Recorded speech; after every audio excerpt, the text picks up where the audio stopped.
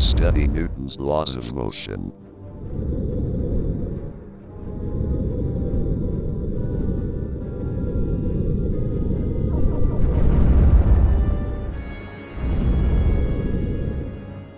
Your piloting skills need practice.